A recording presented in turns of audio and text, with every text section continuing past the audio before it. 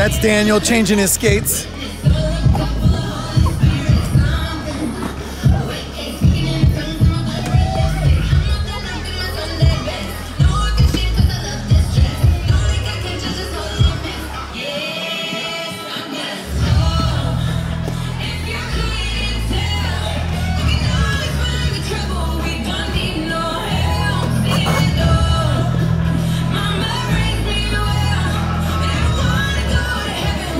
That's my oldest son changing his skates. Single dad San Gemino TV.